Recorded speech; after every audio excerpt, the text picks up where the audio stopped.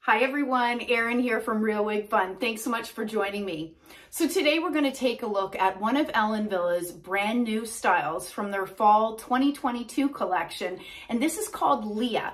And I have Lia in the color Sand Multi Rooted. So stay tuned.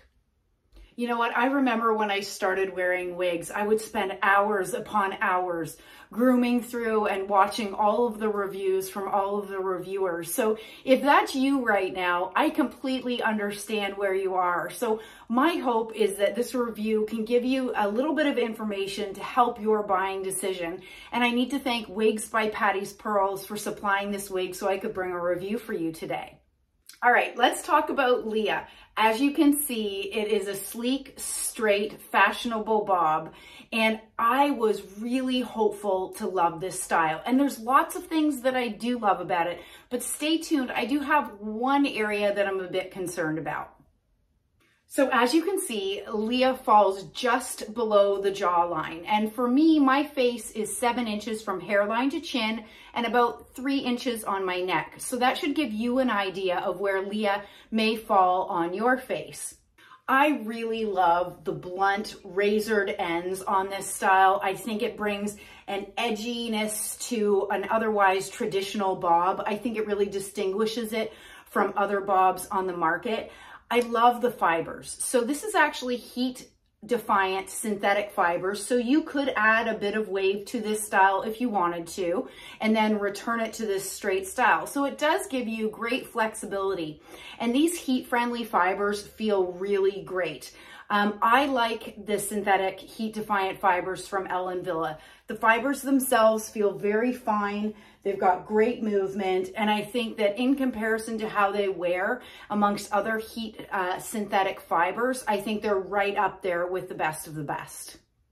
All right, why don't I do a turn so that you can see Lia on all sides. So clearly this is my front. The density is low in my opinion, so you could tuck this behind your ear without issue. I'll show you my, that's my right side. So you see those blunt razored cut ends.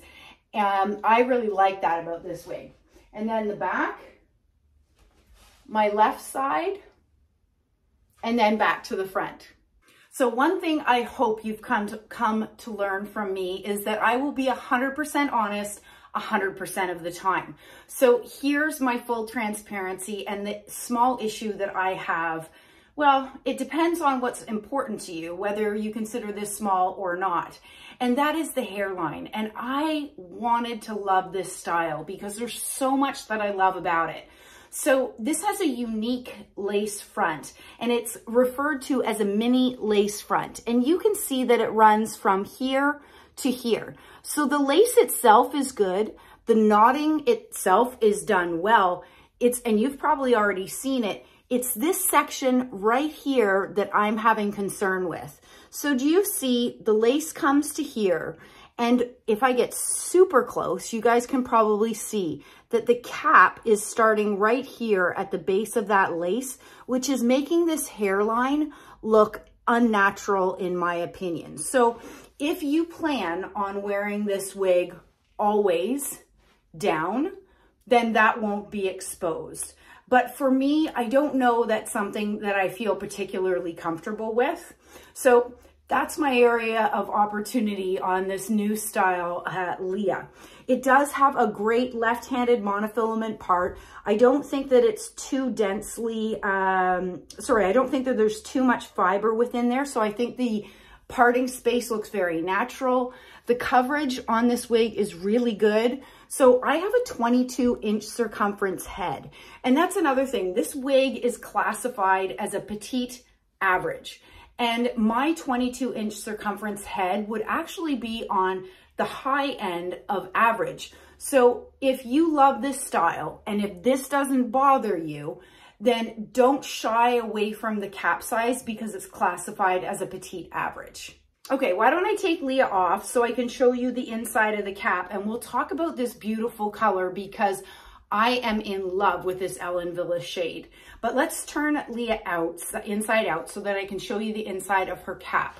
So there is that left-handed monofilament part with that mini lace front. And it's this section right here that's jutting out below that hair, that mini lace that is making the front hairline look a little bit odd to me okay? And then you have open wefted sides and back. You do have very comfortable and soft um, covered ear tabs and an extended nape. I have not adjusted this wig out of the box, so there is a tiny bit of room to let this out even further, and then certainly to bring this in if you have a smaller head circumference than myself. And why don't we check out the stretch, because I feel this cap, yeah, there's a good amount of stretch in this cap, which I think is helping to make this feel very comfortable on my head. So while I have Lia off, why don't I share with you the details on this beautiful color, Sand Multi Rooted. And I'm not sure I've worn this shade before, but I'm absolutely in love. So if you are a blonde, as we head into the fall and you want to deepen your color a little bit, Sand Multi-Rooted is a gorgeous, gorgeous shade. I love the mix of the different colors, and I like that the rooting is not too dark in my opinion. So although it's coated as dark shaded roots, I think it's blended in with the base shade of this, um, of this shade um, to make it look incredibly natural. So it is a blend of medium ash blonde, lightest, lightest ash blonde, and lightest brown blend. I think it is an absolutely stunning shade. So I hope you've enjoyed taking a quick look at Ellen Wille's brand new style for fall of 2022 called Lia. Stay well and stay safe. Bye everybody.